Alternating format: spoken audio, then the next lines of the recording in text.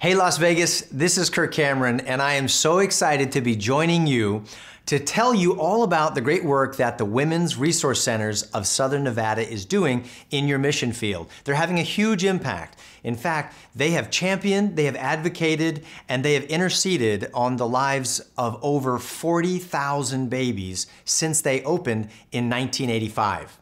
And I want you to join me for a special event on April 27th.